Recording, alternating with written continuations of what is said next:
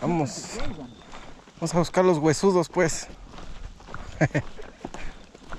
Mira, ahí está. El montón de peces. Hasta la aquella punta, ¿no?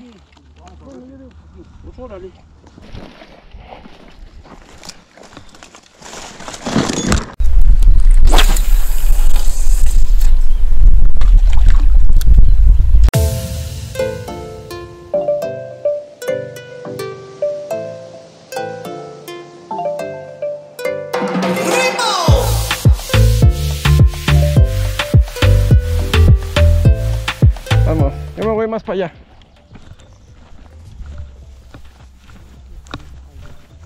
A ver si se alcanzan a ver, ahí están. Los huesudos les pusimos. Bueno, aquí los compañeros les pusieron los huesudos. Un poquito más para allá.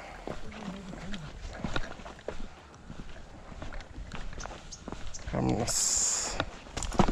Me gusta aquí. ¡Ah! Mi tobillo.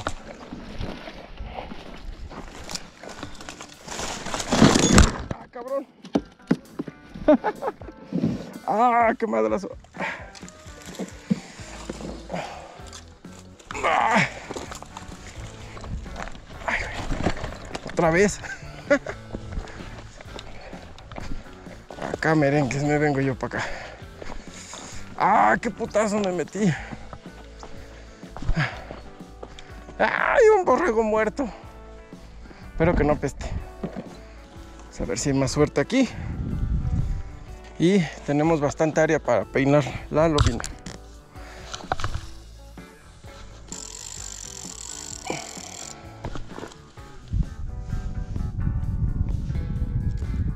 Y mientras vamos a seguir con el plástico.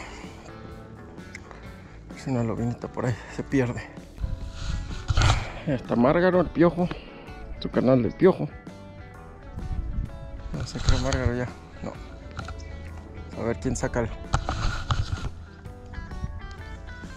¿El primero invita a la coca? El primero invita a la coca. Mira, qué bonita. La vieron cómo brincó ahí. Ahí pasó otra. Otra, mira, ya empezó el desfile aquí de carpitas. Aguas que por ahí te caes.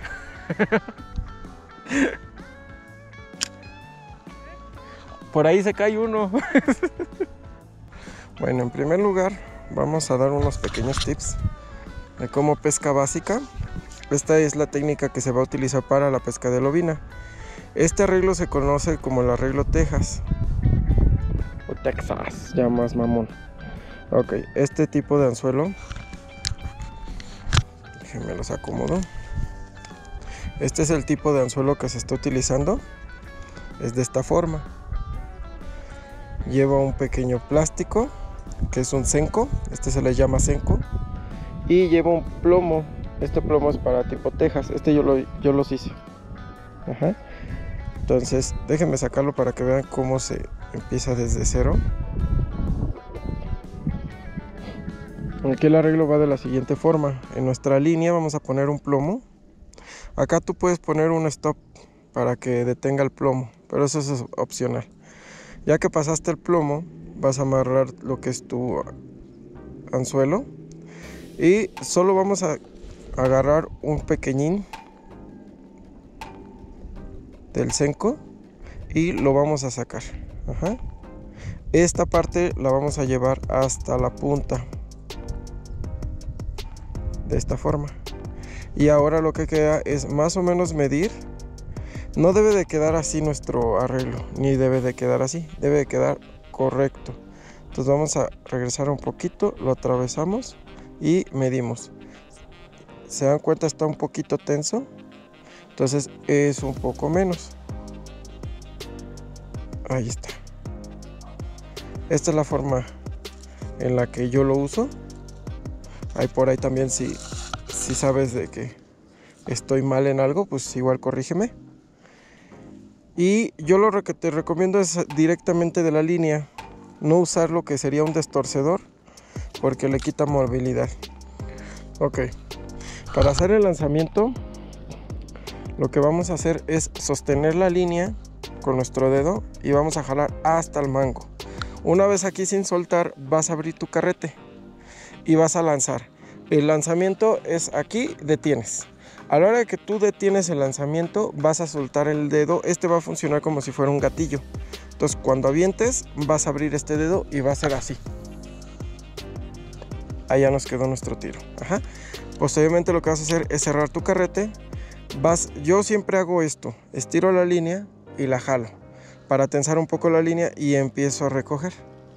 ¿Por qué? Porque si no dejas esta holgura, bueno, esta tensión, se empieza a hacer como un embobinado aquí feo y se empieza a hacer fue el carrete. Ahora, la técnica de recobro. Hay varios tipos de técnica.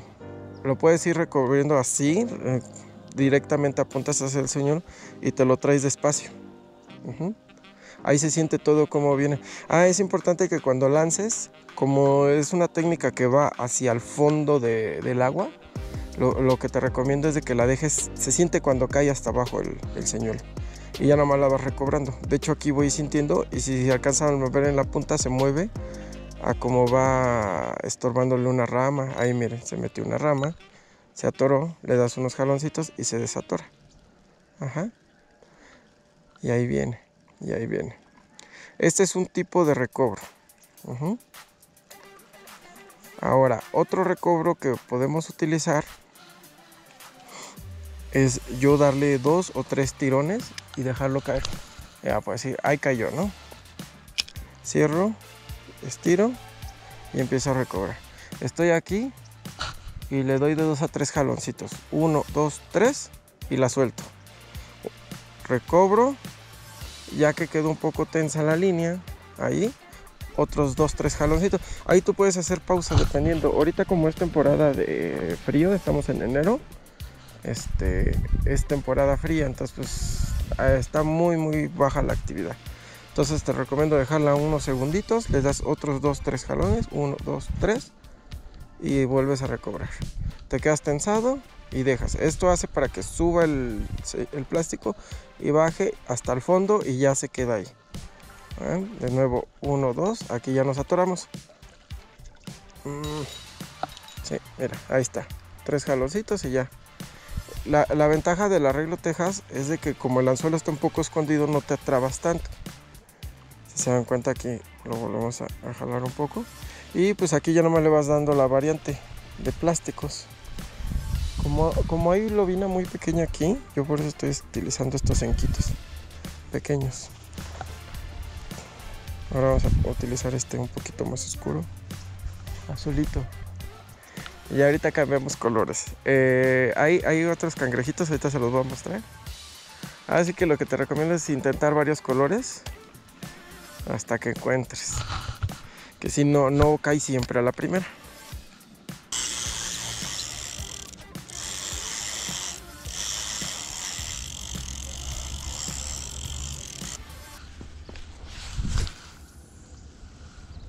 Mira las rojotas que andan allá. Frente.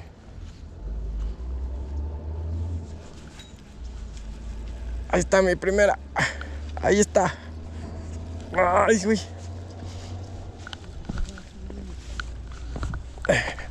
No que no, mamacita, no que no, chiquita.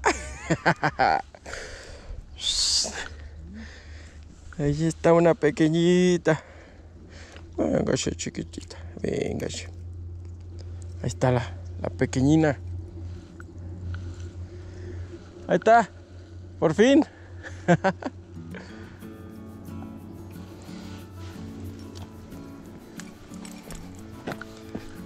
Una baby, baby. Baby lobinita. espérate, no te vayas. Ay, se va. Ti.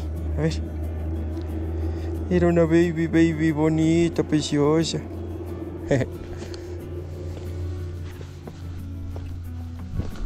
Vamos a juntarlas y al último las dejamos ir.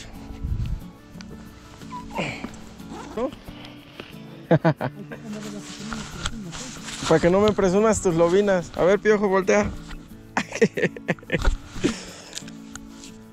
Eh, dile, yo no quiero que me andes con presunciones. ¿Qué pasó, Margaro? ¿Ya ves? ¿Para qué nos presumes? No, estamos esperando que sacas para que invitas la coca tú.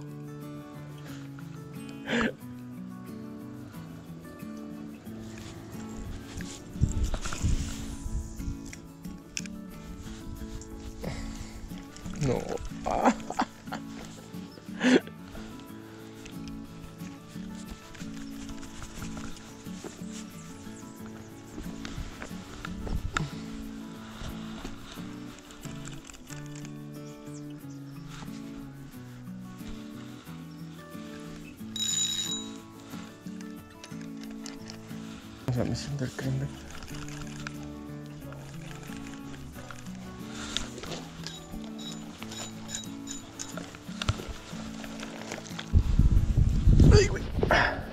Se me quedó a mi señuelo. ¿Eh? Se me quedó atorado allá. Ahora que baje a ver si lo alcanzo.